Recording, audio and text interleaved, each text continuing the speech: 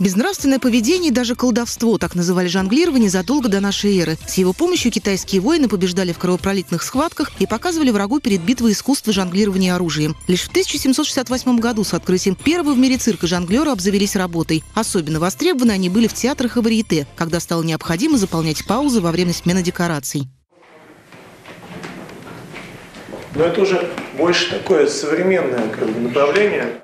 В 21 веке участнику Самарского клуба жонглеров Валерию Тихонину любимое увлечение принесло не только новые знакомства с единомышленниками, но и интересную работу. Учитель физкультуры одной из самарских школ умело владеет искусством жонглирования пои. Изначально оно практиковалось новозеландским народом маори в форме игры, но с течением времени претерпело изменения, став частью новой современной субкультуры. Обычно поистеры используют ярко окрашенные шары, флуоресцентные ленты и цветные наконечники, что позволяет лучше видеть траекторию шара в воздухе. По сравнению с обычными булавами, пои тяжеловесы. Необходимо постоянно контролировать взмахи и координацию движений. Если там э, булавы – это кидание больше, то здесь я держу все время. Э, и задача моя, э, так скажем, уворачиваться от них. То есть они так и стремятся куда-нибудь да, залететь, попасть. За соратником и коллегой Валерией Захаром Посеткиным не угнаться даже в комнате, размер которой чуть больше 30 метров. Из фаворитов Самарского клуба жонглеров Захар единственный, кто окончил цирковое училище. Помимо быстрой езды на одноколесном велосипеде, спортсмен ловко жонглирует булавами и обручами. Такой же мастер-класс показывают его напарники Андрей Ханов и Роман Беленький. Начинаем с той руки, в которой два мяча. По той же самой траектории здесь уже появляется ритм.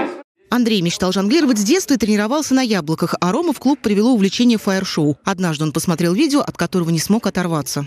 Меня это очень захватило. Очень я почувствовал, что это мое, что мне это интересно. Огонь и вращение, движение, вот это.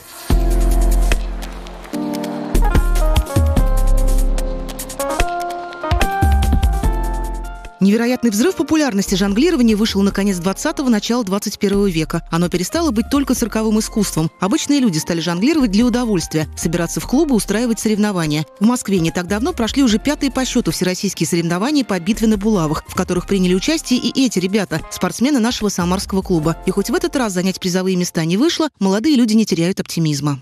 Очень хочется, чтобы э, к нам на занятия приходили люди, интересовались этим. Хочется видеть больше жонглеров на улицах.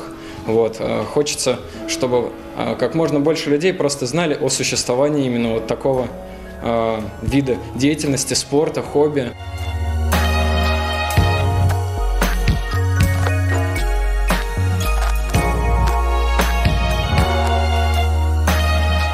Ольга Павлова, Константин Головин. События.